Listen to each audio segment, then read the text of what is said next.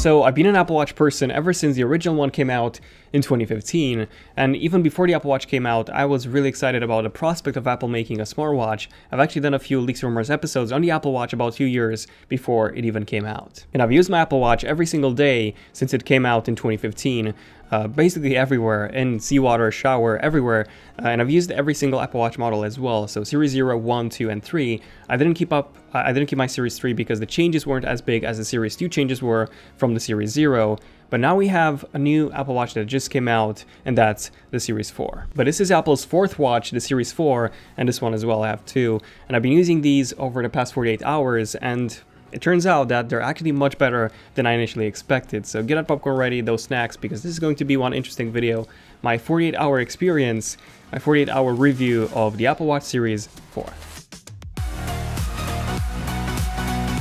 Okay, so the first thing that immediately caught my attention in terms of the Series 4 was actually the box itself. So instead of that long uh, box that the previous aluminum models came in, and also that more premium plastic and microfiber box that the previous stainless steel models came in, we now get the exact same box model for both. But the unboxing experience is actually pretty unique, so you just open up those two seals on the sides, and the box literally opens up like a flower. A very unique unboxing experience, I have to say. We then get the matching image of the Apple Watch that's included inside, so space black and gold in my cases, and then we also get the exact same accessories as before, so charging cable, which on the stainless steel models has the steel frame and the steel back in order to give it a more premium feel. And then we also get a traveler charger, the travel adapter with those retractable feet for the UK model. I'm really not sure why Apple isn't including this with basically the iPhones as well, with every single iPhone, because this thing is such a great accessory to have. But what's really interesting is that now, instead of getting the band already attached to the watch like before, we actually get it in its own separate box, which seems to be the actual retail box for these bands.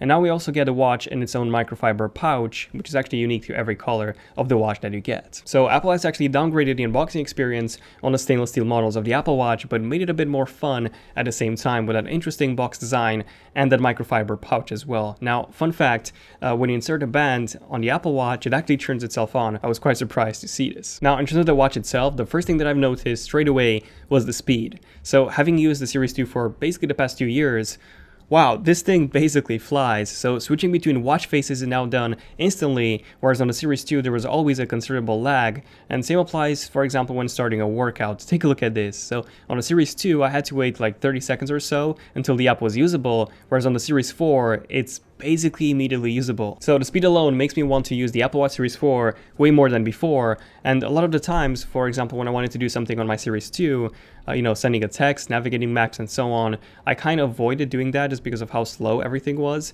Uh, you know, it was always quicker to just take my iPhone out of the pocket and do it there.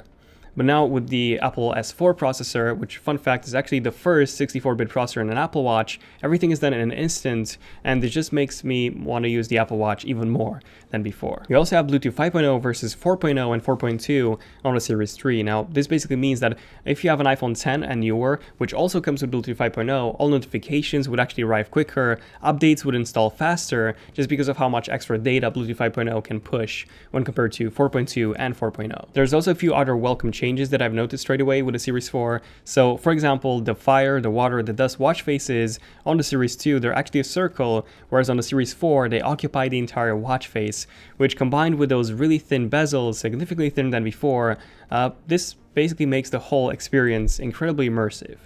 And then we have the new infographic watch face, which is by far my favorite watch face on pretty much any uh, Apple Watch until until now by a long shot. So the sheer amount of data that you can have displayed here is just insane.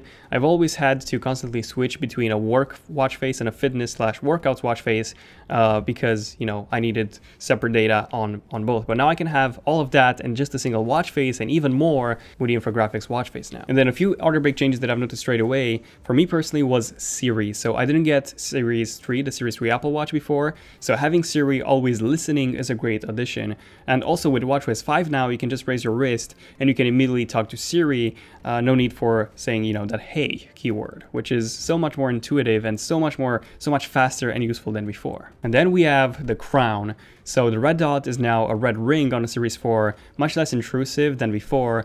And the biggest change in terms of the crown is that it now supports haptic feedback. So when you're turning the crown, you'll actually feel it vibrate It's a bit hard to explain, but for example, if you have an iPhone 7 or newer with that haptic engine, uh, when you go into the alarm clock, for example, and you scroll, your iPhone would give you the haptic feedback, the haptic sensation of actually of actually scrolling through a gear for example. So yeah, it's very, very similar to that. It is a bit hard to explain, but once you start using it, you'll absolutely love it. And along with this, the whole vibration or haptic feedback throughout the OS has been improved as well. So everything feels so, so much better now. And then the microphone and the speaker got some big upgrades. So the speaker, for example, is now really, really loud for a smartwatch. It's actually louder than some budget phones, which is crazy. And I've now had a few phone calls on the Series 4, and no one that I was talking to could actually tell that I wasn't speaking from, from a phone, that I was literally just using a smartwatch. So pretty good speaker and an even better microphone than before. And there are also some big case differences as well right now. So not only is the Series 4 much thinner than the Series 2 was, uh, but it's also lighter and then the heart rate sensor area on the back, that's now thinner as well. So the entire watch fits closer to your wrist and feels so much better than before, much more comfortable than the Series 3 and 2 and even 1 was. In case you're wondering, I was actually able to use all of my previous bands with the Series 4 um, and they're not shorter or anything. They actually fit basically the same as they did before. Now, I didn't notice that some of the old bands, they had a bit of a tighter fit, whereas the new ones, they fit much, much easier uh, than the old ones. And then the heart rate sensor has also been redesigned with the Series 4, so it's now faster, more accurate, and then if you live in the US, you'll actually get access to the ECG meter, which would launch later this year. Um, I managed to find some details on this, by the way, from Apple, and apparently all models of the Apple Watch Series 4, all of them featured ECG hardware, uh, even those sold outside the US, but only the US ones have it approved for use. So up until, you know, up until they actually get approved everywhere else, the functionality is disabled through software anywhere else. And then I should also probably mention how amazing this gold looks like. So uh, Apple has always tried to make a perfect gold that's not actual gold. You know, they had the aluminum, the gold aluminum Apple Watch, and also the gold, the gold iPhones before. But since this one is made out of stainless steel and it's only brushed or anodized uh, stainless steel, I don't know, it looks so much more authentic, so much more realistic, and it really resembles the gold Apple Watch that, you know, Apple used to sell for like 17 or $21,000. So, yeah, finally, Apple got the gold right with the Series 4 and also the new iPhones 2018. Okay, so in the end, 48 hours with the Apple Watch Series 4, what are my actual first impressions? Well, I think that having a watch that does anything you want in an instant, for me personally, it makes me want to use it even more than before and add all this to add this to all of the other improvements such as a larger display, always on Siri, the improved speaker, the improved microphone, the improved cellular connection, the improved heart rate monitor, and much more. Uh, also the ECG as well. Uh, well, this is basically the best smartwatch there is, and that's by a long shot. I mean, at the moment, Apple is basically in a league of its own when it comes to smartwatches, just as they are when it comes to iPads. I'm really hoping that Google does launch a Google uh, Pixel Watch soon, next month. But until then, I'll keep using my Series 4, not a gold one, uh, the space black one. So the gold one I just got for this video, basically. Uh, I'll try the LTE capability since this is actually my first LTE watch. So I'll keep testing the battery life, which up until now has been absolutely insane. Uh, but yeah, stay tuned for the full, for an even more in-depth full review coming in a few weeks once I get to spend more time with these. But yeah, definitely subscribe and enable notifications if you're new to the channel by tapping on that bell icon so that you get notified as soon as a new in-depth video comes out. Stay tuned for the full Son of the camera comparisons which are coming out this week definitely subscribe and enable notifications for those. And let me know in the comments what do you guys think about the Series 4 so far. Do you think it's worth it over the previous generation or do you think it's another small change? Honestly, it's not. So yeah, let me know what Apple Watch uh, model do you have, for example. And also don't forget to join the zone. Simply tap that join button or the first link in the description and you get access to some pretty cool exclusive perks while also supporting the channel.